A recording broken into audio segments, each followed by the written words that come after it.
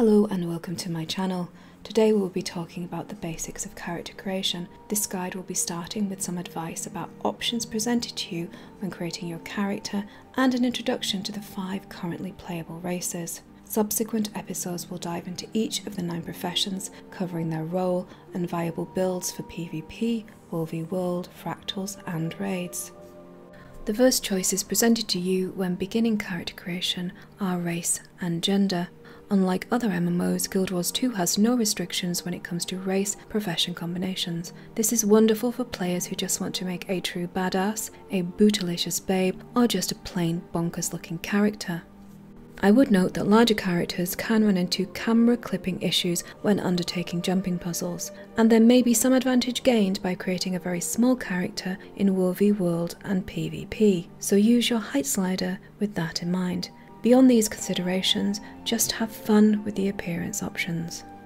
There are many additional choices available when creating your character, but I want to assure players that once you have selected your race and profession, none of the subsequent choices will influence game mechanics. The choices you make from this point onwards only impact the personal story, and although you can take many paths, all narratives in the end lead to the same pivotal story event, so simply select the option which appeals to you and then enjoy the story. Before you create your character, I want to share a little about the ethos of each race, starting with the Charr. This beautiful bestial race was one of the main antagonists of Guild Wars prophecies, where their war with the humans shaped the course of the game. Their culture is based around invention, industry, and war. Their capital city, the Black Citadel, is stunning. With its ornate Victorian influenced architecture, it feels like a steampunk dreamscape. Their starting area is the plains of Ashford. These once human lands are painted in a nostalgic autumnal palette. As I adventured there, the contrast between Charr structures and the human ruins gave a real sense of the passage of time and the weight of history. Anet took inspiration from the Mongols and the Roman Empire for the Charr, as well as themes around the Industrial Revolution. The Asurans claim intellectual dominance over all other races, but their brilliance is easily matched by the engineering prowess of the cunning Charr. In lore terms, the blueprint for every airship, submarine, and firearm originated in the mind of a Charr. They truly are a race apart, from their almost androgynous aesthetic and their anti theist worldview to their unique animations, this race feels different from any I have played before.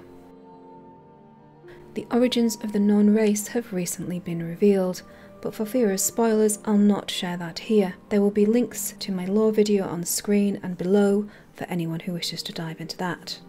This human like race is often described as giants, However, standing at only 9 feet tall, they are vanishingly small in comparison to the actual giants you'll encounter in Tyria. They are also able to shapeshift into hybrid creatures, taking on the aspects of the spirits their culture reveres. Like many races, the Norn have been forced from their homes by the awakening of the Elder Dragons.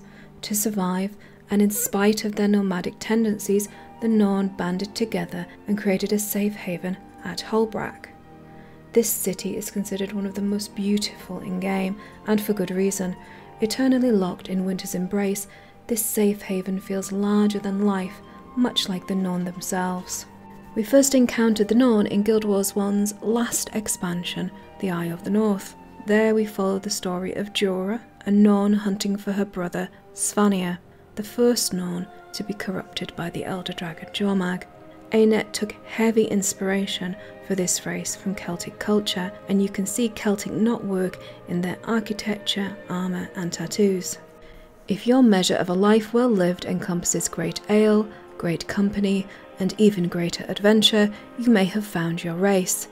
As a Norn, you must hunt legendary prey, make your name, and honour the spirits of your shamanistic culture. Your legend begins in the Wayfarer foothills, where you take part in the annual Great Hunt. So the Norn are big, boisterous, and brilliant fun to play, but for heaven's sake, don't ask them to dance. The Asura have changed somewhat from their first appearance in the Eye of the North. Back then, they were brilliant, power hungry, sharp toothed, and utterly ruthless, with a side order of Bond villain, even a so called good Asura, if you had to align them on the spectrum of light and dark, would be grey. Today, in respect of the player storyline, a nice developer has come and filed down their fangs, but they are still as egomaniacal as ever and well worth playing. If you picture Asurans as power mad, mini Neil deGrasse Tysons with far, far, far less charisma, then you're on the right track. Originally subterranean, these rodent like humanoids were forced to abandon their vast underground cities by the rise of the Elder Dragons. In the following 250 years, they have recovered and established a new capital city which floats hundreds of feet above the Maguuma jungle. Called Rata Sum, this homage to Egyptian pyramids is a shining example of the Asurans' genuine genius as magical artificers. Their entire culture is based around expanding their understanding of the primordial magics which make up the fabric of the Guild Wars universe. Very much like string theory, Asurans have the theory of the eternal alchemy. They believe everything is connected, and if they could just gain enough understanding of how, they could unlock the secrets of creation and perhaps use them to dominate all other races. You know, if they absolutely needed to. These diminutive egomaniacs have some of the best animations in game, and I, for one, would not be without my verbose and boastful hamster for all the shinies in Tyria. In the original game, humanity dominated Tyria, but now they are undoubtedly the underdogs. Some fear they may even follow the dwarves into extinction. Having lost Ascalon and Orr in the Charr Wars, and being cut off from the great kingdoms of Elona and Cantha, Kryta is alone. Their war with the Charr, which has lasted for more than 250 years, is stalled, with an uneasy truce holding back the hatred and resentment that runs deep on both sides. Recent events have seen Kryta on the brink of civil war, but again I tiptoe around spoilers here. Click the link on the screen or down below for more lore on that subject. Culturally, humans are the keepers of history and the masters of agriculture. They worship their pantheon of six gods Balthazar, Dwayna, Grenth, Kormir, Lissa, and Melandru. The other races view these entities as powerful beings. Even the Norns see them as spirits of action, representing war, truth, love, and so on. In MMO terms, the human archetype is very much upheld in Guild Wars with all the medieval trappings in place. Although some will shun this tried and true RPG mainstay, I think players just find it easier to relate to a human character and they are a natural avatar. Humans are by far the most popular race to play, with their rich lore, fantastic voice acting, majestic city of Divinity's Reach, and the ability to create characters with that Scarlett Johansson look, it's little wonder why. Finally, we come to the Sylvari, the first new race of Guild Wars 2. The idea of the Tree Children was born at the very end of the Eye of the North, but the actual character model design was evolving very late into the game development process. In fact, some of the earliest promotional art depicts a very different looking race to the one we find in game. The archetype filled by the Sylvari is very much elven, with their childlike curiosity and deep links to the natural world. However, ANET's art team created something truly special with the Sylvari.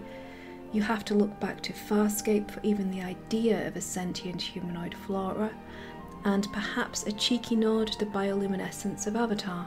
The pale tree, a sentient magical, well, tree, is mother to all the Sylvari. Also known as the mother tree, this benevolent entity protects and nurtures its offspring in the garden city shaded by its boughs. The grove is one of my favourite places.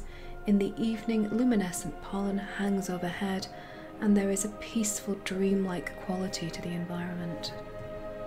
Culturally, most Sylvari follow the teachings inscribed on Ventari's tablet.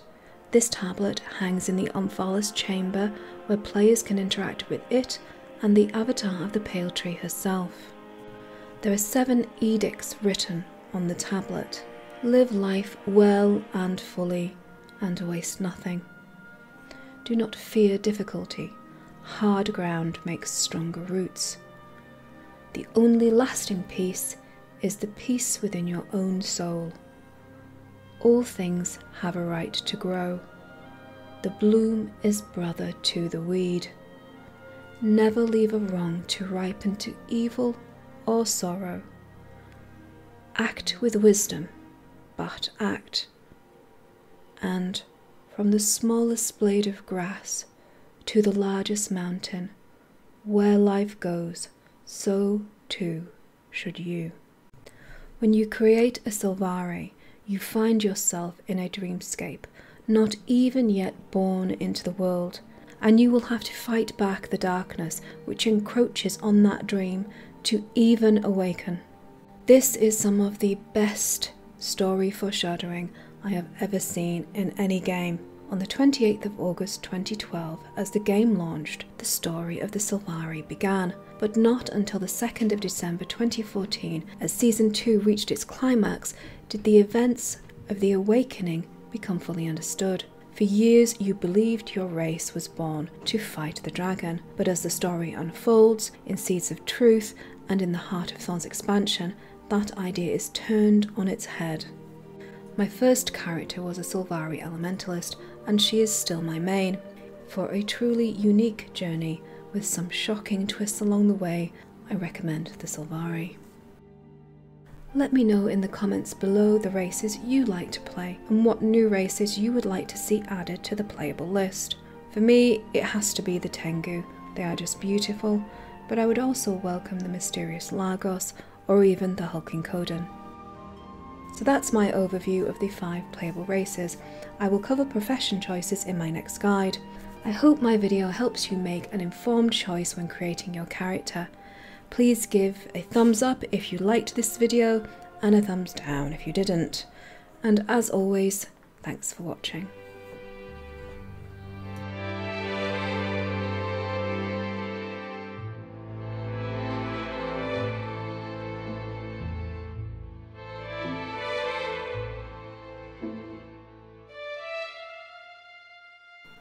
Originally subterranean, these rodent like humans were forced to abandon their vast underground cities by the rise of the Elder Dragons.